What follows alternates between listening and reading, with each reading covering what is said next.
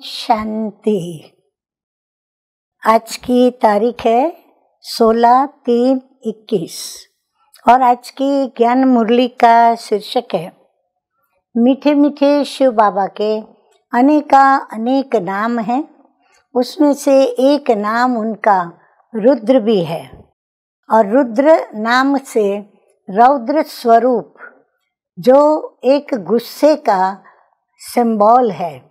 तो रौद्र स्वरूप जब किसी का होता है तो शिवजी ने तो तांडव किया, परंतु मनुष्य जब गुस्सा करता है तो कहेंगे कि इसने आज रौद्र स्वरूप धारण किया था। याना, यानी कि वो अति गुस्से में था। तो आइए सुनते हैं कि ये रुद्र शब्द, उसके साथ और क्या क्या जुड़ा हुआ है। तो मीठे मीठे बाप दादा बोले मीठे बच्चे, शिव बाबा के इस रचे हुए रुद्र यज्ञ की तुम्हें बहुत बहुत संभाल करनी है। रुद्र देवता, रुद्र प्रभु तो उसका रचा हुआ रुद्र यज्ञ। तो इस यज्ञ की भी बाबा कहते हैं, बहुत बहुत संभाल करनी है। ये है बेहद का यज्ञ। स्वराज्य पाने के लिए अक्सर लोग यज्ञ करते हैं जब कोई विघ्न बड़ा आता है या कोई बड़ी परीक्षा या बड़ी समस्या सामने आती है तो उस पर विजय पाने के लिए यज्ञ किया जाता है।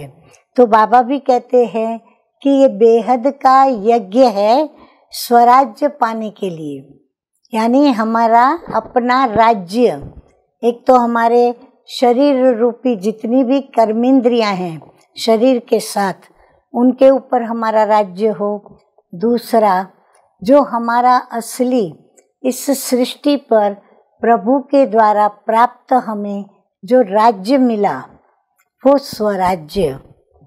तो प्रश्न है अभी, इस रुद्र यज्ञ का रिस्पेक्ट किन बच्चों को रहता है? उत्तर है जो इसकी विशेषताओं को जानते हैं।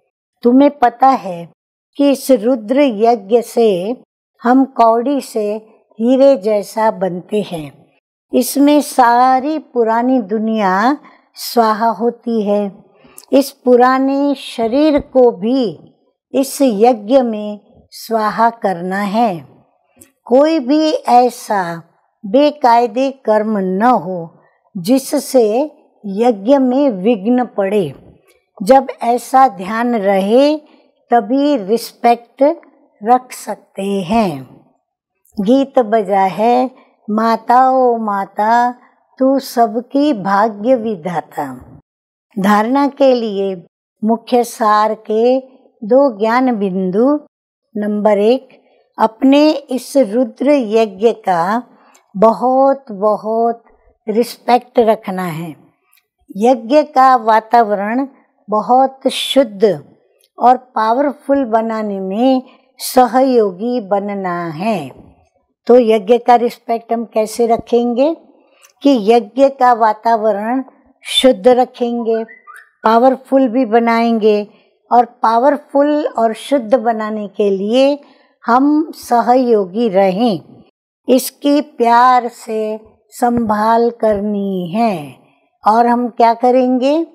इस यज्ञ को हम बहुत प्यार से संभालेंगे और चलाएँगे। नंबर दो है, अपने पास कुछ भी छिपा कर नहीं रखना है। दिल साफ़ तो मुराद हासिल। इस यज्ञ की कौड़ी कौड़ी अमूल्य है। इसलिए एक कौड़ी भी व्यर्थ नहीं गंवानी है। इसकी, इसको बुद्धि में और वृद्धि में सहयोग देना है। बाबा कहते हैं, इस यज्ञ में जो भी स्वाहा करते, तन चाहे मन, चाहे धन, चाहे समय तो धन में भी एक एक कौड़ी बड़ी अमूल्य है। इसीलिए हमारी धनराशि कहीं भी व्यर्थ हमको गंवानी नहीं है। तो इसकी वृद्धि में सहयोग करना है। वरदान, कारण को निवारण में परिवर्तन कर सदा आगे बढ़ने वाले समर्थी स्वरूप भव। बाबा कहते हैं कि ज्ञान मार्ग में जितना आगे बढ़ेंगे, ध्यान से सुने, ज्ञान मार्ग में जितना आगे बढ़ेंगे उतना माया भिन्न भिन्न रूप से परीक्षा लेने आएगी, क्योंकि ये परीक्षाएँ ही आगे बढ़ाने का साधन है। न कि गिराने का, लेकिन निवारण के बजाय कारण सोचते हो तो समय और शक्ति व्यर्थ जाते हैं। कारण के बजाय निवारण सोचो और एक बाप की याद की लगन में मग्न रहो तो समर्थी स्वरूप बन निर्विघ्न हो जाएँगे। स्लोगन है, महादानी वह है जो अपनी दृष्टि, वृत्ति और स्मृति की शक्ति से शांति का अनुभव करा दे।